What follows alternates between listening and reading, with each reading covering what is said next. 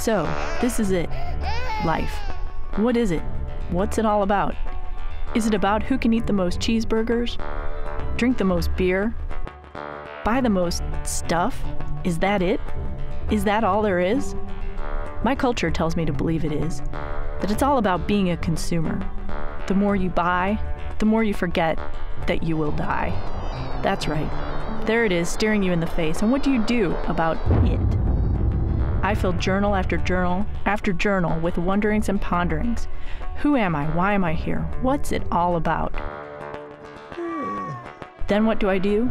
I ride my bike and ride and ride, and then skate and skate until I can't go any further, trying to escape, avoid, ignore the fact that there isn't an answer. Sometimes, always, I wish I didn't feel so alone in this. I wish I could know that you feel the way I do sometimes. But what can you do about it in the end anyway? Go on a killing spree? Hmm, might sound good at times. Uh, what did I do? Well, I decided to join a band. That's right, I'm on a quest to find the meaning of life in the St. Louis Arts and Entertainment Underground. I thought I would try asking a bunch of people I know if they knew what it all meant. Answers, um, varied. What is the meaning of life? I have no clue. There were some good ones too, but I'll save those for later. For now, let's take a look at not just what is going on in the underground, but why artists, musicians, entertainers, and promoters do what they do in the underground scene, that world on the fringe. No, not the underworld of crime, silly. Underground arts and music and stuff. You know, kind of outside the mainstream. People who are doing what they do because they love it, not just for money. So here we go. Sit back and stretch your mind, because this program will stretch your perception of what it's all about.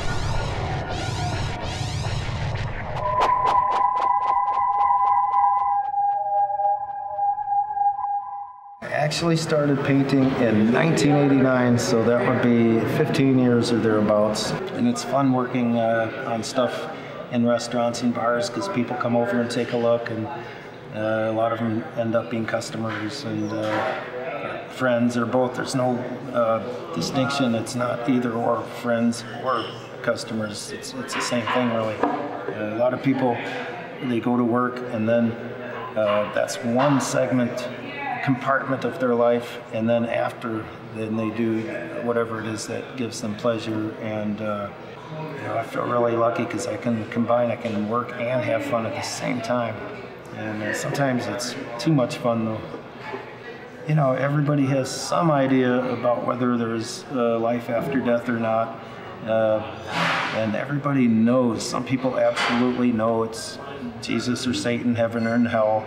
I kind of lean towards thinking that once we die, our individual personality is just gone. And, and, you know, I have friends that believe in reincarnation and this and that, and that's fine, but I don't know anything about what's going to happen after I die. So just in case, I want to leave a lot of great stuff behind. I thought I might call it Mangia Evoluciano because it's evolution and time and space, matter, energy, light, gravity, all that junk. Imagine atoms and molecules all the way up to stars and galaxies, and then here we are somewhere in between all that stuff and a part of all that, the stuff that uh, makes up our physical material is recycled material from exploded stars billions of years ago and all that kind of stuff. We preserve the mural because uh, it's such an integral part of what the restaurant was before my partners and I came here. I, I adore it. I think it's awesome. I think it's absolutely amazing that he's worked for this long on this mural. And, you know, he doesn't receive any monetary compensation for this. You know, we, we feed him whatever he wants here at the restaurant, some pasta, you know, several times a day. I wish that I could be that happy with that few needs in life. Wayne's artwork is very inspirational for me. I paint too, but he's a very free style. You know, there are no boundaries, no limitations. Anything goes, and I think that's what attracts me most to it. It's like being in a dream. I guess that's the way I can explain it. It's like there's, he's in between worlds, sort of say. There's always something going on in his mind. It kind of consumes him and Wayne lives through his work. through his paintings. Gives inspiration to other people. He does what he wants to do, not what people are telling him to do. I love Wayne's artwork. I think, like him, it's colorful, eccentric. Every time you talk with him or see his artwork, you find out something new. Uh, every inch of it tells a different story. Um, and I feel sorry for anyone who sees his artwork or meets him and is not inspired because it exudes positive energy. So uh, one day I was sitting there drawing with him, and uh, and uh, he said, "Want to try some colors?" I was like, "Yeah," you know. And it was my first time ever dabbling with paint. I ended up doing this painting. This one is uh, Wayne from 1977, back when he was Buddy Frankenstein. I had a dream back around the same time that I was uh, hanging out at Wayne's house all the time, and it was Miles Davis was in the dream, and I was having this conversation with Miles Davis, and uh, and I remember Miles Davis said to me in the dream, he said, "Creativity is man's way of getting over it. And it is capitalized I-T, meaning uh, whatever, whatever you're going through in life, uh, it, you know. And so, so I, I, see art as a way of like tackling these problems in, in, in life and in, in society. I see artists' role in society as uh, an answer to, to the vulgarities of life uh, with beauty. I, always imagine, though, even years from now, people looking at my stuff, whether it's in a restaurant or in somebody's living room, and you know, it might be some stormy night, and there'd be a few people sitting around having some wine and discussing, you know, great works of world-class genius or whatever. And oh, by the way, here's some of Wayne's stuff on the wall, and then famous old stories will come up. Because I always enjoy listening to stories about other people, whether it's Gaslight Square or you know, the Roaring Twenties or whatever it might be. While I'm working, I can daydream and fantasize about uh, where this piece is going and who's going to see it. And, uh, you know, this mural, a lot of times there'll be families in for dinner and uh, parents with their little kids, and the kids will go up and down and look at different things, and maybe one of those kids is going to kind of get that spark in his or her brain. A couple times when uh, a kid will come over and I'll say, "Hey, uh, try this at home when mommy and daddy are asleep," and uh, I probably shouldn't do that, but.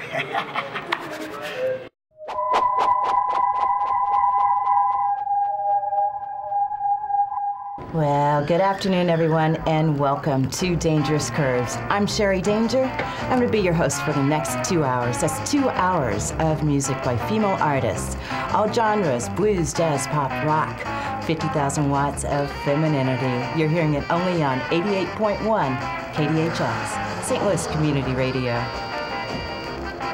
I know having my show, a show that focuses on females, gives people a lot more awareness of the music that women create a lot of shows have a tendency to do like one or two cuts by women, not be, be very conscious of the female artists are out there recording. And I think so many women artists are just bypassed because it's just, their names aren't known. They just don't get the airplay, and therefore they aren't known, then they don't get played, and it's just a cycle. So having the show allows me to expose the female artists are out there and doing, and doing just as good for me, it's so important not just to play the new artists and the emerging artists and, and the artists saying the trends now, but to, to go back a generation, another generation, go back to the Bessie Smiths, go back to the Ma Rainey's, go back to the early blues artists that went out when women weren't on the road touring and playing, that went out and played and played the same shows and went on the road, raised a family, and did all this stuff and really defined what women could do in music. And then you see that reflected in the artists today that actually go out and make the music and set their own road. So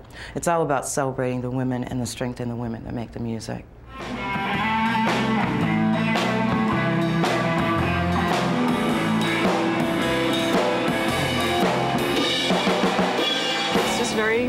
Wonderful and empowering to hear all these different styles of music across many decades.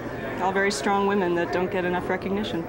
Well, in short, it's just pretty inspiring. I, I know that she does a lot of research. Um, she spends a lot of her own finances on the record collection that she has. Um, she's always she's always digging deeper, trying to find unheard things. I mean, that's really that's just very special, and she's very devoted the 5678s, and Bond Girl. Up next, one by the Pebbles.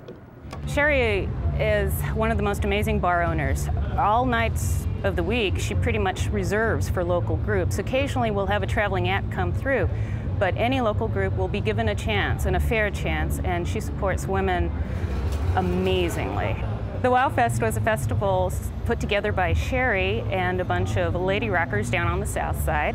It stood for Way Out Women, and uh, we just wanted to have a response to Lollapalooza and all the male dominated kind of things.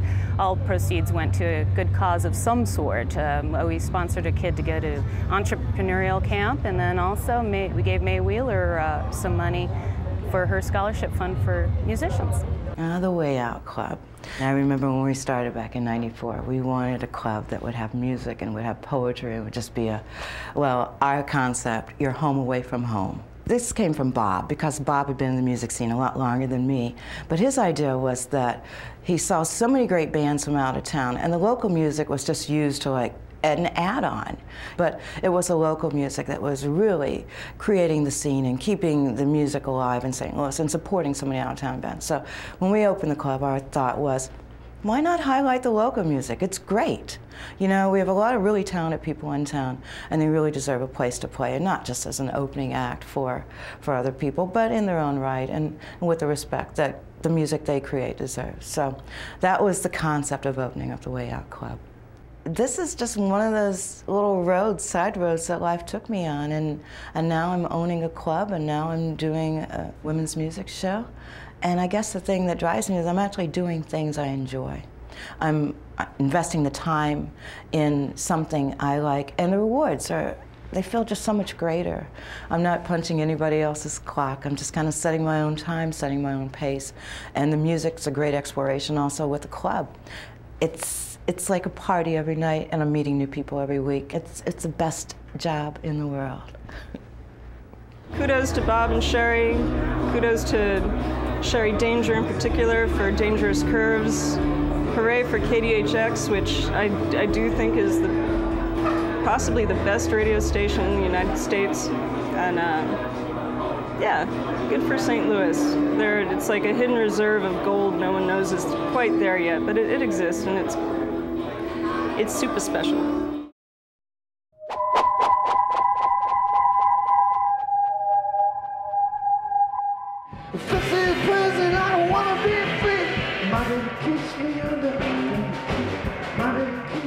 It's amazing. I've been following Mark from so long, from his uh, surf garage days since the Boo-Rays you know, through the Highway Matrons to Fred's Variety Group. And it's amazing how he encompasses so many feelings of life, you know, from the downside of life to the upside and everything in between. And he takes an amazing perspective on all sorts of life, you know, from his own sideline to what other people's perspectives are. And I love the way he melds them all together.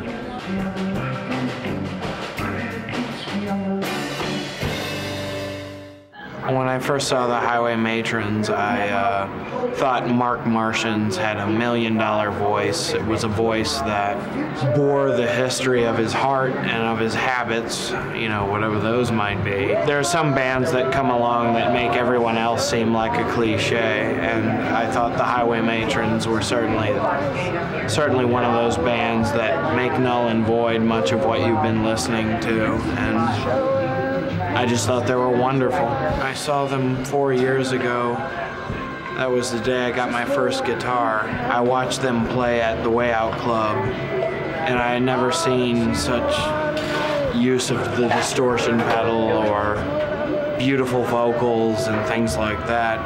And I vowed that one day I'd be doing the same thing. And not imitating, but just inspired by. Myself and some friends in town used to be uh, in a band, and uh, and we sort of met Mark through that, through the, the way the way you usually meet people in that kind of situation, and uh, and we asked them along with a, about I guess a total of about 20 other bands to be involved in these trading cards that we did as a kind of a scene builder, I guess is the best way to say it, and. Uh, yeah, and luckily, luckily they did it along with the other bands, and uh, I think we had a, ended up with a pretty, pretty cool set of things, you know. That... We belong even more underground than the underground. We should be buried even deeper, I think. I like uh, pickup truck that we don't do anymore. I really like Cobalt Waltz. I think he put a lot of time and effort into that. But mostly I like the ones that I wrote because I can kind of tell easier where we're going with them.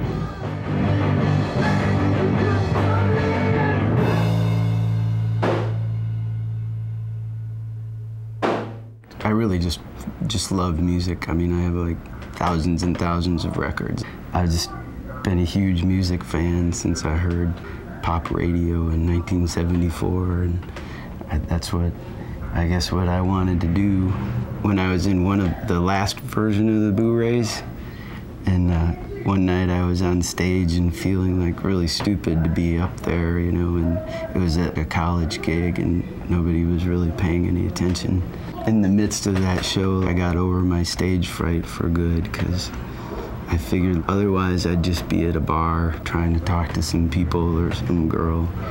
And that this way, I had what I was going to say all planned out in a song, and I had an amplifier and a microphone. So I felt like it was a great privilege, and I always feel that way.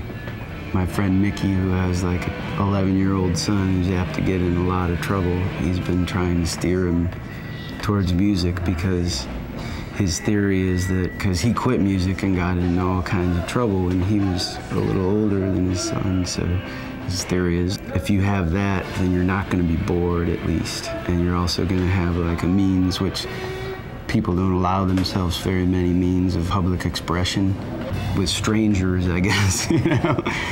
Yeah, it's a channeling of desires that could otherwise cause you trouble socially, I guess. And it's a form of communication where verbal communication lacks. Yeah, I mean, I guess that, like the frankest answer to why I play music is because in some ways life is very mundane no matter what you do. People get into a rut, and I think music is a way to elevate yourself, at least mentally, from the rut. It's productive to like make money and raise a family, but I think everybody, you know, has not really necessarily goals beyond that, but the understanding that, that other things exist past that.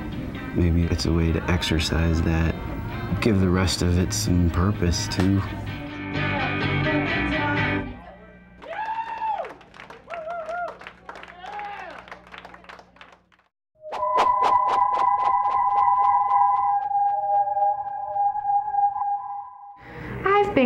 Artwork probably as long as I can remember. It's probably the one thing that I know I'm good at. So I can't not draw or create or sculpt or make things. Yeah, I absolutely have to do it or else I'll go crazy. I really like tattoos. I think it's a really uh, interesting art form. You're putting something on somebody for life, and skin is just a really weird thing to to deal with. Everybody's different, so it's always a challenge. It's definitely always a challenge. If someone wants something really large, it's a long process. I'll make a couple of sketches of of whatever they want. I'll trace out the area that they're getting their tattoo and um, then I'll have them come back a few times to look at the drawings and see if they want any changes made. And, and if it's something large and it's going to take three or four or five sittings, then they'll come back over a few months and we'll start with an outline and then start coloring it in over a few months' time. Once this is on, I could just tattoo right over it, pretty much.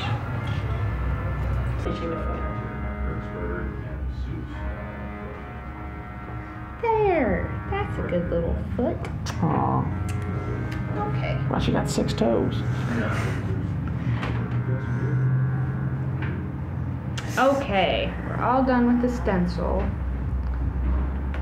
Okay. Are you ready? Yes.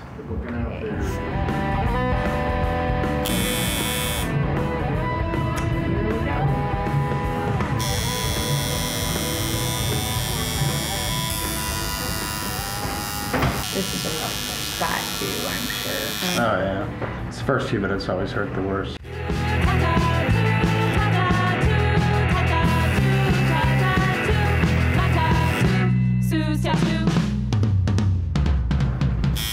I'm excited about getting this tattoo because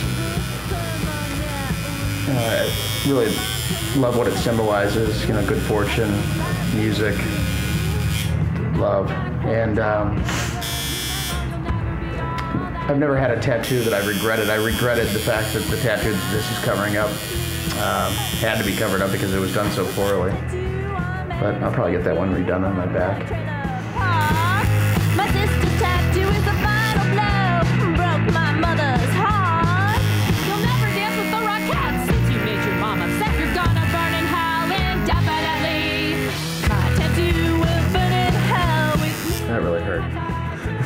We're going through the old tattoo. Yeah. It'll hurt a little bit more there.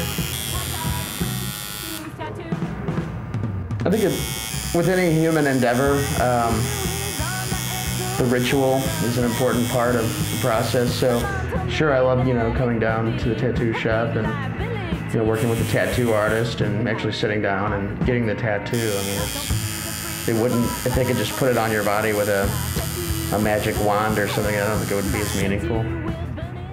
I just talked about it. I never said, let's do it. You know, I would say, if I'm going to get it, I would do that. So when I, you know, came to Heather and said, hey, I want to do that, and uh, she was just really excited.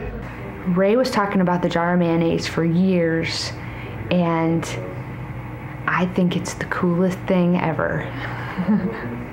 It's a little scabby from, I just got it worked on a few days ago. But it's great. I love my bow, my safety seal. It's perfect. At first, I was shocked at how angry people were. Like, uh, you know, it's a very religious decision, apparently, you know, of what you put on your sandwich, you know, and they're like, I like Miracle Whip. You know, it's just not hi, how are you? Or wow, or I like Miracle Whip. Or, you know, it's, it's amazing how people, uh, yeah, they just pick a side, you know. Three days after I got the tattoo, like I was walking to the bathroom and I passed a mirror and I saw the tattoo and I was like, oh my God, you know, it's so big. And, uh, and instantly I went, man, I can never ever say that again. I mean, it's my tattoo and it's me. And, and you know, I never really regret it. It was just kind of a shocker.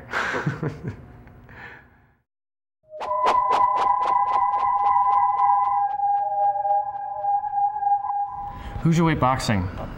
It's boxing for more kind of like the regular guy that is looking to get into shape, but it's not necessarily looking to go to the gold gloves. Sort of a fun way to compete, do something a little bit different, and a great way to express yourself in a generally safe arena. I talked to my friend Peter up in Chicago.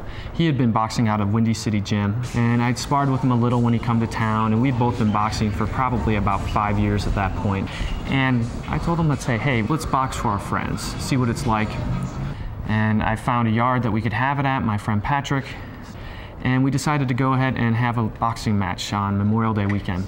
And we wound up uh, going three rounds, and probably about about 50 people, I guess, showed up, and you know, we're knocking each other down, getting each other bloody, and having a good time. And I, I think it went pretty well. And then from there, we went to my own backyard and we kind of made a makeshift ring and we had a couple of fights on that card. Pablo, the Jabbin Jew, fought uh, Dave Stokes and I fought Peter again for a rematch and people were getting such a great kick out of it and they really enjoyed it. I thought it brought people together. And we went from there to more backyards and then we stepped up to uh, City Museum for a couple of fights in South Broadway and now we're gonna, the next fights are gonna be over at uh, an old police station called Mad Art and we keep changing it, making it bigger and evolving, and it's been a lot of fun. It's been so much fun. When we go into the ring, we're fighting, we're boxing, we are hitting each other hard. We're trying to beat the other man or woman. Uh, we're hitting them as hard as we can. We're trying to keep our own balance and try to keep going. And it's not easy, but that's also life itself. I think Hoosier boxing has sort of tapped into uh, sort of a communal spirit, and it's brought, uh, again, a sport that a lot of people witnessed from afar and made it literally very close to them and people they know uh, environments they feel comfortable seeing the sport in. So I think we've brought it out of, again, sort of a shadowy world and into a, a different shadowy world, maybe a, a different sort of fun world that people can kind of appreciate. I think it's great that somebody that didn't have any kind of formal background in in throwing sporting events or or boxing at all would would start something up and get all kinds of people involved in it throughout the community that are involved in music and art and you know restaurants, bartenders, you name it. So it's a nice mix of people. I'm really glad that I got to be a part of it. I never thought that I would be in a ring boxing anyone, but here I am. So anything's possible. I've heard of my opponent. I scoped her out a couple of nights ago. Uh, she looks pretty tough. I've heard she's tough. Uh, we'll see what happens in the ring. Be afraid, because I'm coming for you. Well, okay. So Dana McDonough got scared, backed out. Steve found me another opponent, Rose Martelli. Again, she must have heard how hard I was hitting girls and uh, got scared and backed out. So I'm undisputed. I love boxing as a sport, not only to do it, but to watch it. So hopefully there'll be some blood, some sweat, some tears. Somebody's going to walk away a winner. Too bad it can't be me, though. I'm going to buy Mama a new pair of shoes. I think it's the first uh, uh, boxing show inside an art gallery and police station.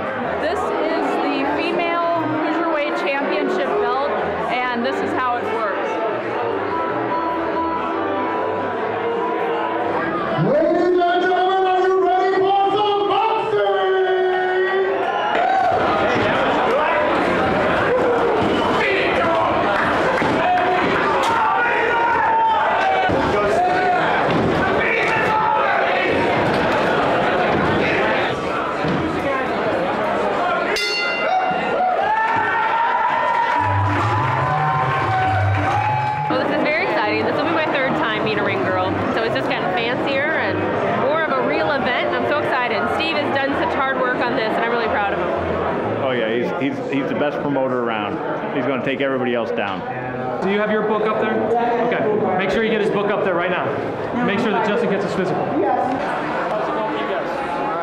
Too many people just kind of sit back and bemoan of what they don't have or what they want to do or what they could have done. And I don't want to ever have to be in that position. Um, I might not be doing this for the rest of my life, but I'm doing it and I will at least have done it. And I'm so happy that I've had this opportunity. All of us were creating this opportunity for ourselves to make this happen. It's, it's kind of cool. It's really fun.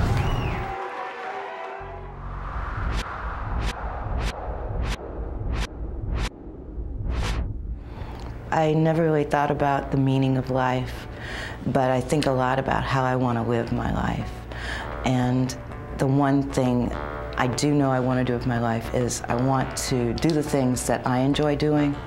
I, I want to be a lot more clear about spending time in my life doing the things that I enjoy, that give me pleasure. And also, on the other hand, the, the supplement to that is I want to make sure as a human being that I'm kind to other people.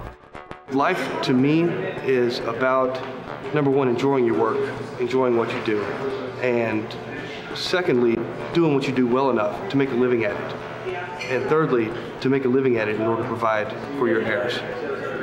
And at the same time, doing those three things while hurting nobody else and hopefully helping other people fulfill their goals. Doing whatever it is that makes you happiest without hurting anyone in the process. That's my meaning of life. Just stay busy and don't be mean. I guess what I found out is that I'm part of a whole community of people who will do whatever they can to do what they love, and who will entertain, amuse, enlighten, and sometimes even inspire others along the way. So, did I find my meaning of life? Well, I definitely stayed busy. I think that the meaning can be found in the search. The path itself is the answer, not necessarily the destination. Where is that destination? You won't know until you get there, will you?